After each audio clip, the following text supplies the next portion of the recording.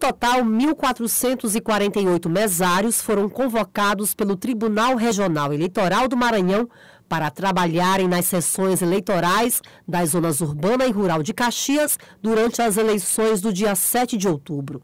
O treinamento de mesários para a zona urbana, incluindo os voluntários, começa essa semana no Tribunal de Justiça, localizado na cidade judiciária do bairro Campo de Belém. Os mesários já foram convocados né, para se apresentarem na mesa receptora de votos e o presidente e o primeiro mesário serão é, treinados é, de forma presencial.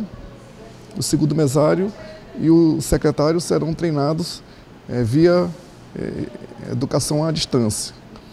E eles também poderão utilizar do aplicativo Mesário 2018, bem como assistir aos vídeos do YouTube, que são dois que já foram produzidos pelo TSE.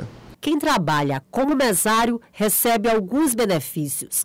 Direito a duas folgas por dia trabalhado, isso vale também para eventuais treinamentos, direito à isenção de taxa de inscrição de concursos no estado do Maranhão, preferência no desempate em alguns concursos públicos, desde que previsto em edital, e utilização das horas trabalhadas nas eleições como atividade extracurricular complementar. O treinamento dos mesários para a zona urbana acontecerá nos dias 13, 14, 17, 18, 19, 20 e 21 de setembro em dois horários, 9 e meia da manhã e 3 horas da tarde.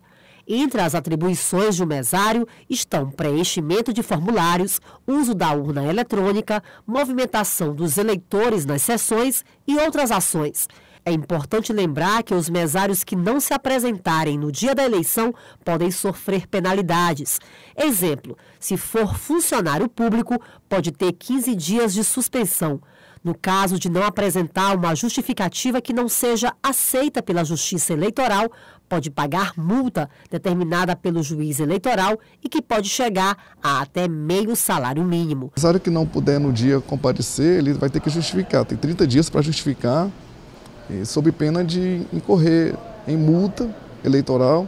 Vai ter um, dado um, abrir um processo vai ser dado oportunidade de ele se defender, né? porque todos os processos têm que dar garantia da defesa, e no final poderá incorrer em multas.